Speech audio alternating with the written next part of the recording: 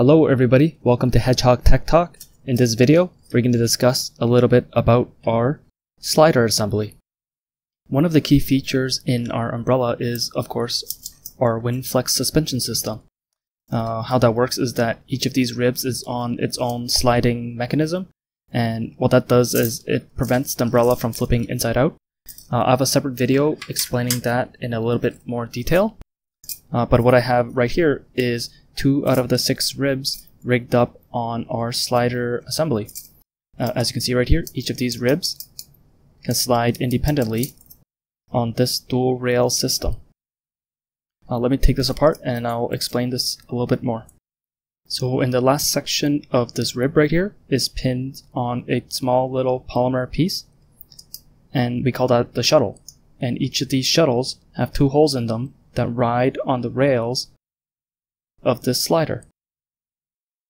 And no lubrication is necessary as we just have polymer on metal and it slides nice and free. In our original design back in 2015, we didn't use a shuttle and rail system.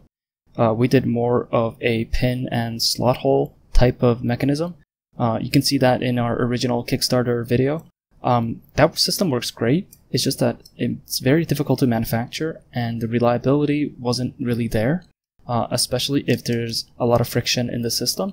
Um, so in order for it to be easily manufactured and have high reli reliability without too much excess friction on the rails, we decided to change it to a shuttle and rail system. Uh, we think that the results turned out very good. Uh, the system right here requires um, the minimal amount of parts necessary to make this all happen uh, without too many complex um, uh, connections. So for example, we don't even have a threaded connection anywhere in the system. Um, the entire slider piece right here just all snaps into place after all six ribs have been fully assembled. So the worker can just install this core piece right here and snap it all together and it's ready for the next step. Um, it actually took a lot of time um, to be able for us to figure this out. Uh, originally, we had um, some threaded cap on here. We also had an idea of using a uh, lock ring, but in the end of the day, just having straight up plastic locking me mechanism was actually the most reliable and quickest way to put this together.